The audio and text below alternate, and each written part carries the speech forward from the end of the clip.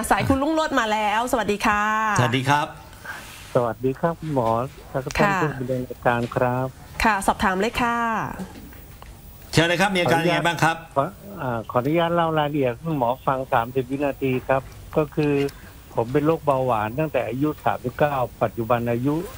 36 เออ61เอ่อค่าน้ำตาลสะสมปัจจุบันอยู่แค่ 7.1 จากลดจาก 14 ลงมานะครับ เมื่อดี5มากปีก่อน อ่าดีมาก ก็น้ำตาล FBS ปัจจุบันเอ่อ67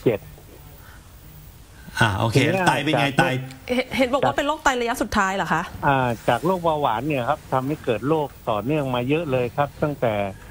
เอ่อค่ากรดยูริกสูง ต่อมลูกหมากโตเอ่อเบาหวานลงไตระยะสุดท้าย แล้วก็เอ่อเบาหวานขึ้นตาแล้วก็เกิดโรคหัวใจนะครับ แล้วก็ตาเสียไปข้างหนึ่ง ทีนี้ปัญหาของผมก็คือ ทีนี้การเป็นโรคหัวใจเนี่ย มันมีตรวจพบว่าหลอดเลือดเนี่ยไข้ EKG เนี่ยผิดปกติ แล้วก็หลอดเลือดหัวใจเนี่ย อาจจะติดตันทีนี้คุณหมอจะสวนหัวใจ แต่คุณหมอไม่กล้าสวน เพราะเป็นโรคไตระยะสุดท้ายกลัวจะเกิดโรคไตวายอืมก็เลยจะเรียนปรึกษาคุณหมอนะครับว่าจะสามารถทำสวนหัวใจได้หรือเปล่าอืม คุณขึ้นบันไดเนี่ยเหนื่อยไหมไม่เหนื่อยครับ ผมสามารถเดินได้หกสิบนาทีเนี่ย วันละเจ็ดพันเก้าอยู่ครับ อ่า ดีมากแล้วขึ้นบันไดอะ ขึ้นไปชั้นมันขึ้นบันไดได้กี่ชั้น บันไดได้บ้านบ้านผมสองชั้นสิบสามขั้น ขึ้นได้ปกติครับ เคยขึ้นบันได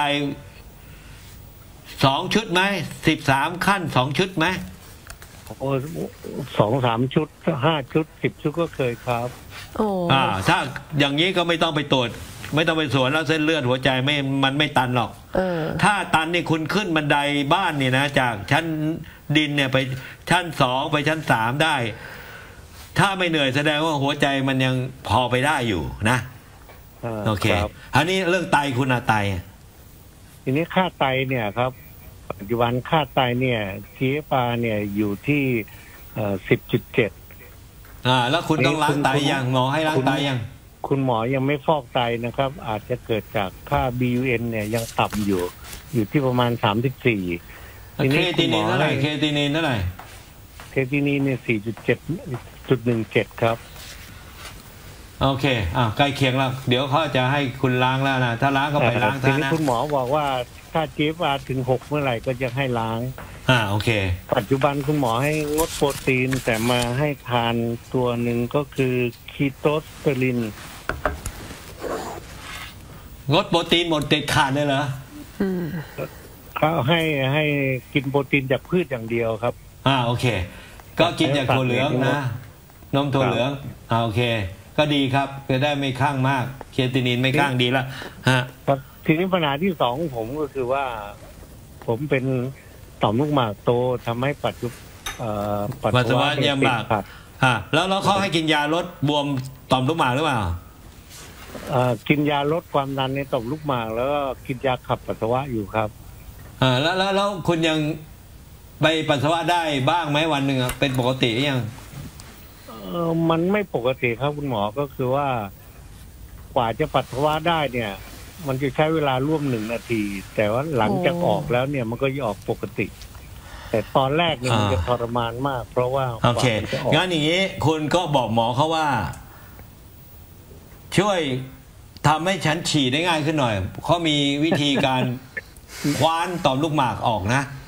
โอ้โดยไม่ต้องเนี่ดมยาแหละครับสลบนะ ปัจจุบันเนี่ยคุณหมอ ผมก็พูดกับคุณหมอแบบที่คุณหมอแนะนำนี่แหละฮะ คุณหมออ่าบอกว่าก็คงจะต้องผ่า ทีนี้หมอก็ไม่กล้าผ่าบอกว่า เอ้ย เดี๋ยวไตวายอะไรอย่างเงี้ยครับเขาก็ไม่ไม่ไม่ไม่ต้องดมยาสลบก็ทำได้นะ เอาไม่เป็นไรคุณไปขอร้องหมอว่าไตมันจะวายไม่ได้ถ้าไม่เดินไตมันอย่างนี้มันก็